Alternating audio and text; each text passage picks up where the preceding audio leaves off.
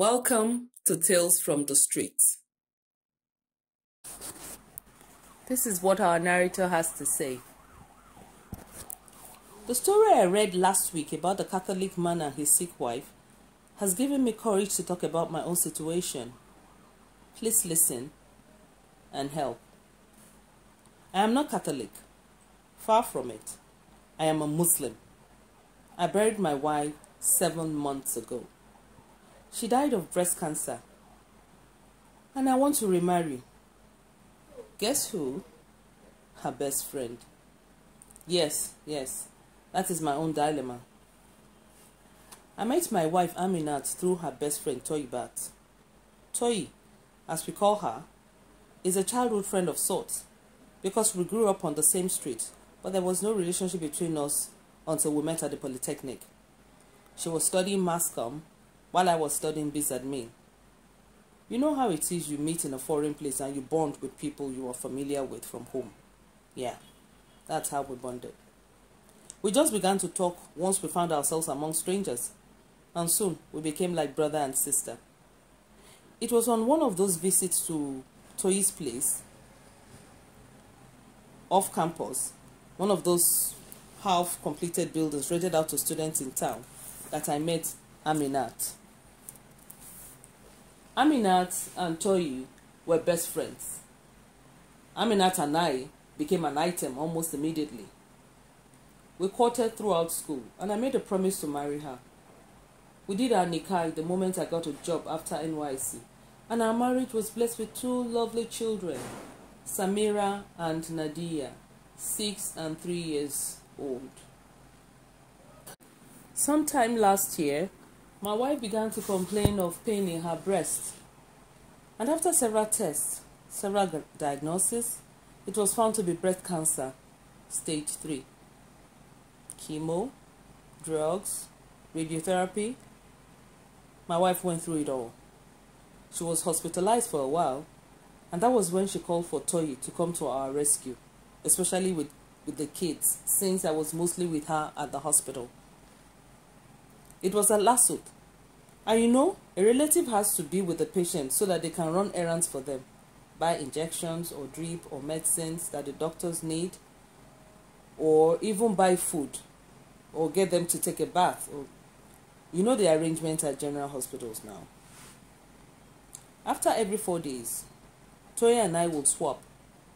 She would stay at the hospital while I took care of the children. And once they were off to school, I will quickly rush to my shop at Shomolu where I run a printing press. I always turned up because if I didn't show my face, my boys will rip me off and steal me blind. And you know, this kind of sickness my wife had requires constant money, serious money. So I was juggling office and hospital, office and hospital. And again, let me say this Toyi was my wife's idea. She didn't want people to know the kind of disease worrying her. Aminat believed that someone in her family was behind it. She told me she had a dream, that one of them gave her food in her dream, and after that, she found herself to have cancer of the breast. Don't ask me whether I believe it or not. That is what my wife told me. And if she believed it, I have no reason to doubt her. She didn't want too many people knowing she was sick like that. And because she was always in pain, severe pains, and she was very sick, that no amount of injections could, could help her surge. I suffered though. So I respected her wish, and I kept mom for a while. So I think she didn't want people to know, or she didn't want people to see see her in that state. Anyway, as I was saying, Toyi came to our rescue, you know. She had seen some disappointment in life herself. There was this guy she met after we all finished school. He graduated from UI, I think, and they met at one of those uh, family weddings. I don't know much about him. I just know the guy had promised to marry Toyi, but he wanted to go and do a master's program in one of those Eastern European countries. Not the UK, I think Sweden or Poland or was it even Canada? See, I don't know. Anyway, he went abroad. He finished his program and married an Oyibo woman. So, of course, Toyi was in a bad shape for some time, and it was my wife who helped stabilize her. But Toyi is a smart woman. She began to do small, small trade, and, and she prospered, and she began to take care of herself and her parents. Small time, she had a small boutique, and business was doing well. When Aminat called, Toyi left everything to come to us. After a while, I had to tell a few of our family members because, I swear, as a man, I had to prepare myself for the worst. I told myself, though she said I shouldn't tell anyone, but God forbid she does she suddenly dies. What soap will I use to wash myself clean of her death? I told her parents, I told her siblings and mine. And thank God I did. Three months later, my wife died after surgery, which they said was successful. She was in massive pain. Sorry, I'm getting emotional. Everyone saw how Toyi was such a help to my wife. Everyone thanked her and prayed for her because my wife was always telling them to thank her for us. I was devastated after Amina passed on. I took my children to my wife's people for some time because I just couldn't cope. Toyi was still coming around. She would bring food once in a while, then help tidy the house. And I'm usually not an untidy person, but I just didn't want to do anything after Amina's death. Maybe that was my way of coping. I didn't want to get up from bed or eat or leave I was just not in the mood for anything. Plus, I suddenly realized I had been it had been such an exhausting job caring for my wife during her period of sickness. Then one day, the devil got up to drink water. what do I mean? Toyi had come to the house to help me clean up yet again.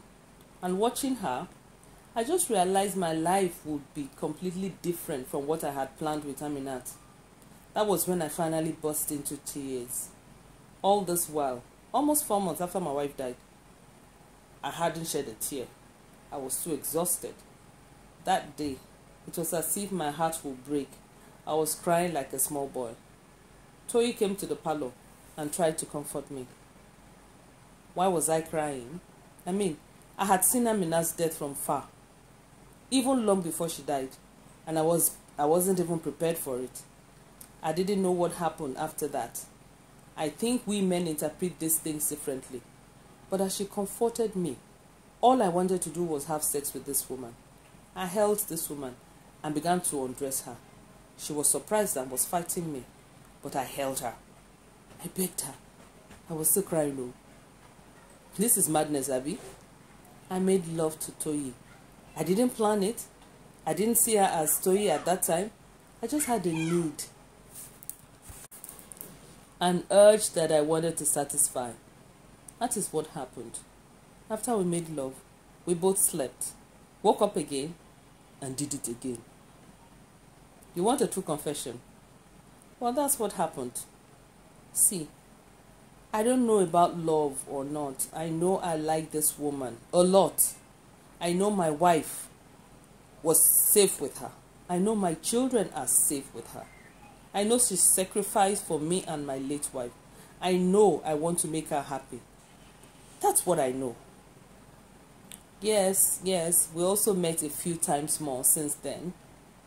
So when she came to me that she is pregnant for, for me, just two months ago, I had to man up and take responsibility. Toyi is 36 years. Will I ask her to go and abort it? My own child?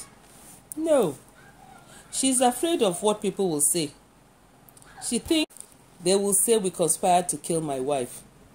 I will not stop people from talking, but I will not send her packing either. She has refused to move in with me. No problem about that for now. I'll make arrangements for our Nikai. Islam doesn't say I can't remarry. It's just that the circumstances now would make it look somehow. But I'll take responsibility and I will marry her. If you enjoyed the story, please like, share, and subscribe. Thank you.